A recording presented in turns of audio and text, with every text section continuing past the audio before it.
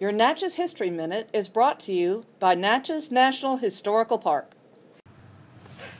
On the night of April 23rd in 1940, 209 people, all African Americans, perished in a fire at the Rhythm Nightclub in Natchez, Mississippi.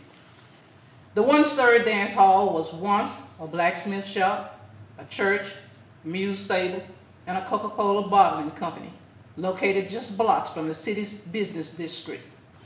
That night, the hall was packed with many people who had come to hear the music of Walter Barnes and his Royal Creolians Orchestra from Chicago. This event was hosted by the Money Wasters Club. The rafters of the interior of the club had been festively decorated with Spanish moss, which had been sprayed with a petroleum-based insecticide called Flit. At approximately 11.30 p.m., a fire quickly engulfed the structure.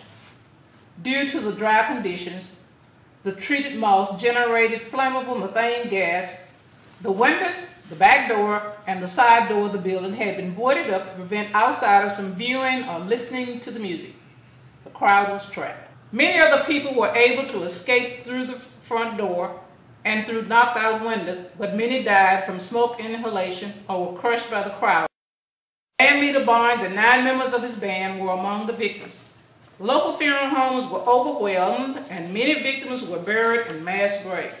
The Rhythm Club fire was the first recorded nightclub fire and today is ranked as the fourth deadliest on record in U.S. history. In August 2010, the Rhythm Club on-site memorial museum opened in Natchez, commemorating one of our country's most horrific disasters. Hi, we are Betty and Monroe Sago owner and operator of the Rhythm Night Club on-site Memorial Museum. And this has been your Natchez History Minute.